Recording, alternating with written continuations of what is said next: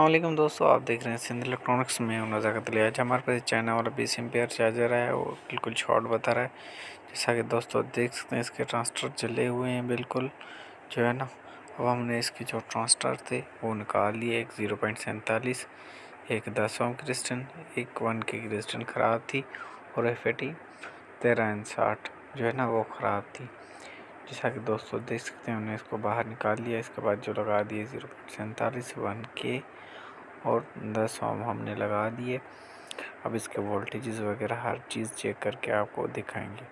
हमने अब जो है ना एसी वोल्ट चेक करने हैं, मीटर को एसी पे रख लें और 220 सीरीज़ में इसका हमने शू लगा दिया।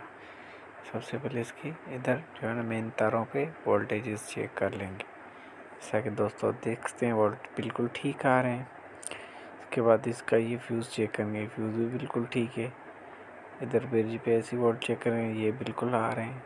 इसके बाद मेन कैपेसिटर पे वोल्ट चेक करेंगे मीटर को आपको अच्छे से की रेंज पे रख के टीसी पे रखना है। जैसा कि दोस्तों देख सकते हैं, वो भी वोल्टेजेस बिल्कुल आ रहे हैं और अट्ठासी तैतालीस के साथ ही कैपेसिटर है, उसकी भी वोल्टेजेस चेक कर लें तो उस पर तकरीबन आईसी के साथ आठ वोल्ट आते हैं, ये बिल्कुल आ रहे हैं। अगर आईसी नहीं होती तो चौहत्तर पचहत्तर वोल्ट आ जाते हैं। अब इस पर बाइसिंग वोल्ट चेक करेंगे एफ़ के, आगे वोल्ट जो है ना बाइसिंग वोल्ट आ रहे हैं कि नहीं। मीटर को बीस की रेंज पे रख लें डीसी पे। ये देख लें वोल्टेजेस बिल्कुल आ रहे हैं बाइसिंग वोल्ट जिसे कहा जाता है। वो बिल्कुल आ रहे हैं। अब जो है ना इसका कैपेसिटर डिस्चार्ज करेंगे, स्विच निकाल के। इसके बाद जो है ना फिर तेरह साठ एफ़ लगा लेते हैं। जैसा कि दोस्तों देख सकते हैं।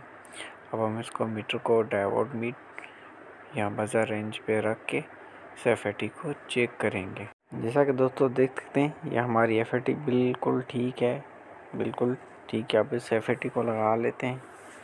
लगाने के बाद जो है ना, इसके अच्छी तरीके से टाँके करके आगे इसके जो डबल डायोड लगे होते हैं, उसको चेक कर लेंगे। आए कि हमारे डबल डायोड ठीक हैं कि वो भी ख़राब हैं। इसको टाँके कर लेते हैं।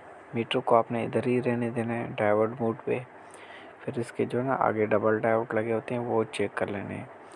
जो ब्लैक प्राप है, वो बीच पे लगेगी और दोनों साइड पे तकरीबन डबल डायोड की रीडिंग एक ही होनी चाहिए। दोनों साइडों से एक ही रीडिंग, जैसा कि दोस्तों सकते हम चेक करें। साइड ये, दूसरी साइड, दोनों साइडों पे एक ही रीडिंग दे रहा है। मतलब ये कि हमारी बिल्कुल ठीक है, अब इसको बोर्ड में एफ़ को चेक करें। बिल्कुल ठीक है, अब 220 सीरीज़ में स्विच लगाएँगे और देखेंगे हमारा चार्जर ऑन हुआ कि नहीं। जैसा कि दोस्तों देख सकते हैं, हमारा चार्जर ऑन हो चुका है। अब इसके डीसी कैपेसिटर आउटपुट पे वोल्टेजेस चेक करेंगे, आई के वोल्ट पूरे हैं कि नहीं। जैसा कि दोस्तों देख सकते हैं, हमने मीटर को डीसी रेंज पे रख लिया। पे रख लिया और ये बिल्कुल वोल्टेज ठीक आ रहे हैं। इसको बैटरी पे लगा के जो है ना इसकी चार्जिंग चेक करेंगे, आया कि हमारा चार्जर ठीक काम कर रहा है कि नहीं। इसको एम्पेयर मीटर लगा लेते हैं और देख लेते हैं, आया कि हमारा एम्पेयर भी बना रहा है कि नहीं चार्जर। जैसा कि दोस्तों देख सकते हैं, हमने इसको एम्पेयर मीटर लगा दिया है। अब इसका सीरीज़ में स्विच लगा रहे हैं दो सौ बीस में ये बिल्कुल लोड ले रहा है, जैसा कि दोस्तों देख सकते हैं। अब हम इसको डायरेक्ट में लगा रहे हैं और चेक करेंगे, आया कि हमारा चार्जर ठीक काम कर रहा है कि नहीं। जैसा कि दोस्तों देख सकते हैं, ये एम्पेयर भी बना रहा है और फ़ैन भी चला रहा है और लाल बत्ती भी बिल्कुल ठीक चल रही है। चलिए इसको बंद करके फिर से चेक कर लेते हैं कि हमारा चार्जर ठीक काम कर रहा है कि नहीं। जैसा कि दोस्तों देख सकते हैं, जैसे ही हमने इसको 220 सीरीज़ में लगाया तो ये बिल्कुल ठीक काम कर रहा है। अब हमने इसको डायरेक्ट में लगा दिया। यदि हमारी वीडियो पसंद आती है तो हमारे यूट्यूब चैनल से इलेक्ट्रॉनिक्स को ज़रूर सब्सक्राइब करें।